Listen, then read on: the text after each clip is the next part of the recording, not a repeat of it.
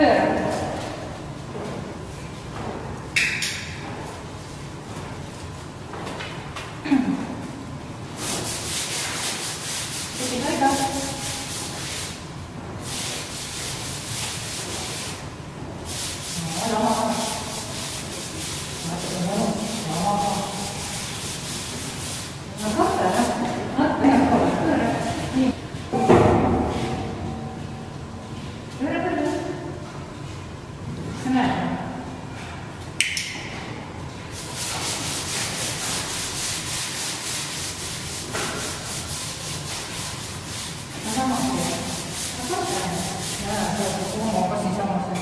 Oleks kuus aastat.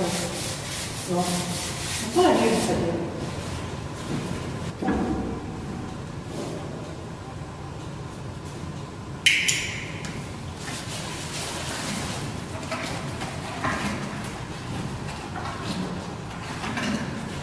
suu lahti, et õpiks suud lahti tegema, käsklus tuleb hiljem, kui on selge, siis on